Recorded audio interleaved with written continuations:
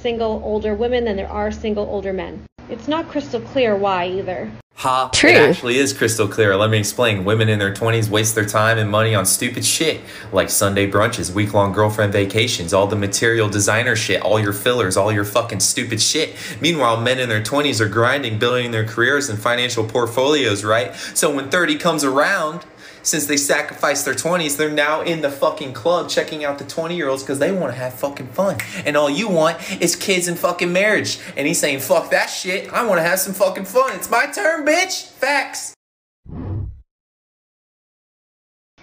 If a dude is not obsessed with you, then it's because he knows what your true fucking intentions are. So you can take your ass to Target with the money you don't have because he cut you off, buy some makeup remover cloth so you can reveal your ugly lying face, and while you're there, grab a couple packages of personality because down the road when he trades you in for a newer, younger model, you're gonna need it.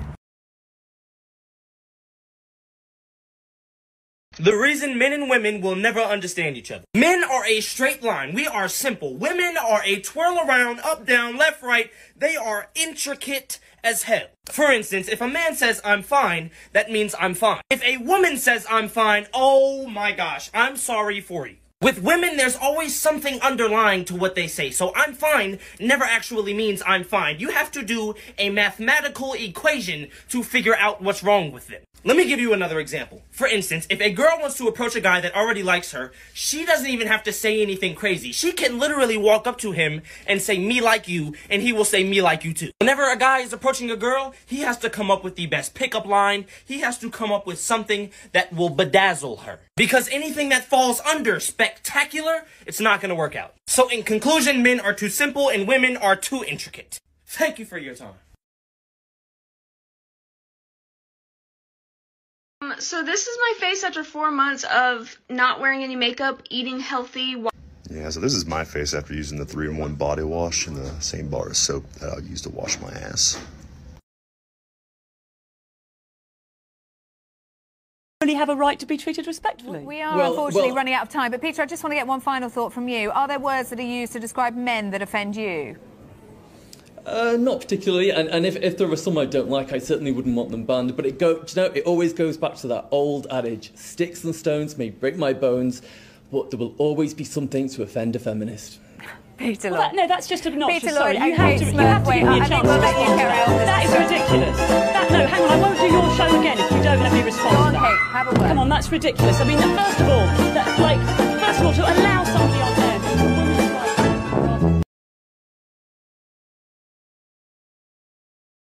40 is the new 25 for men, but 40 is the new 85 for women. Sorry, ladies. FLCS. Guys, the idiots are back. I think the scariest part about having triplets is having to be pregnant for 27 months. Excuse me? Someone needs to rip this girl's vagina off, throw it in a treasure chest, and let that shit sink to the bottom of the Pacific Ocean. Because she doesn't deserve one if she has zero idea of how it works. Jesus, lady, babies aren't like making fucking Hot Pockets in the microwave. You don't need to add more time if you're having more than one. What do you think, they take turns growing? The first one gets nine months, then stops. The second one goes nine months. The third one does nine months. He's like, yo, let's get the fuck out of here, all of us. What about that woman who had octuplets? She was pregnant with eight kids. What was she pregnant for fucking six years? Whoever need to sit his mediocre ass down. Mediocre. What the fuck is that? Like a tree made out of salami? God, just look it up in the dictionary if you're not sure about spelling, please. Oh, look at this. We have a celebrity sighting. And uh, your favorite dish? My favorite dish? I like mugs because they're very comfortable in your hand and they hold hot things that you don't have to touch. this reporter asked Demi Lovato what her favorite dish was, and she said, I like mugs. Demi! Your favorite dish, she means like a meal. No one gives a shit if you like mugs or plates or spoons or any of that shit. I like mugs. That's fucking amazing. I love the reasoning she gave behind why she loves mugs. Because they hold hot things and they fit in your hand. We know what mugs are! I love how no one stops her. No one stops her in the middle of her answer like, no, no, we meant like, what your favorite food, what your favorite meal was. They just let her go off on this long, elaborate tangent about mugs. 1990 was 40 years ago. We getting old. I... What? Fucking no, it wasn't. Unless this girl's been sent back in time like the fucking Terminator, what is she talking about? How did she get 40? How did you get for to show your work? Show, no, I want to see your work. I want you to write it down, show me how you got to 40.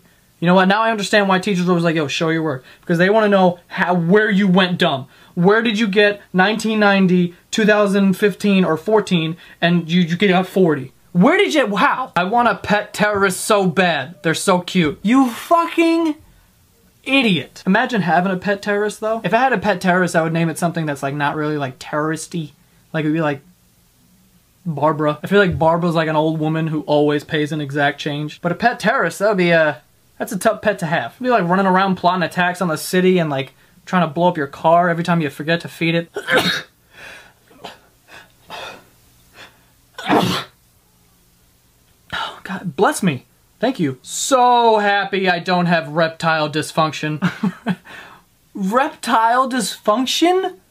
Huh, what is that? Is that like a lizard with like an extra eye and like one arm is shorter than the rest? Dude, it's a erectile dysfunction. It have a question for the guys. What are some things that guys love to hear from a girl? Silence. Whatever happened to hello? Listen, let me take you to dinner. Can I? He's like a brother to me. He's just a friend, left undelivered. Read six hours ago. He's too nice. He's too short. He's not packing. I'm not ready for a relationship. It's not you, it's me. I'm just not ready to date. I got a boyfriend. I like you, but not like that. Ooh, sorry, I'm really busy this day. I'm not sure when I'm available. Promise you won't get mad. But see, what happened was, I'm sorry, I'm sick today. Sure, I'll go out with you. Never shows up to the date. Sorry, I was sleeping. I'm so sorry, but I forgot. Definitely let you know. So, do you want me to keep going? Is it a turnoff if a girl is confident enough and asks you out?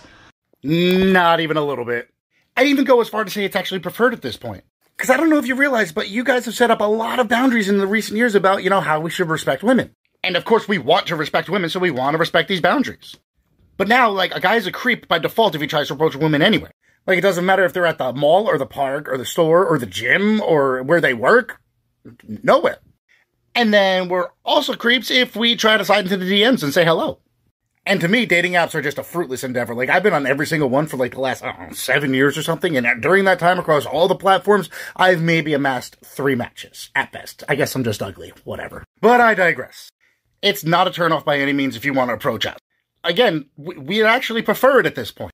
Like, even boundaries aside, the fact that you'd want to approach us because you thought we were, I don't know, like that good looking or that funny or whatever have you, like, that's one of the few compliments we're going to see for the next decade. We'll take it.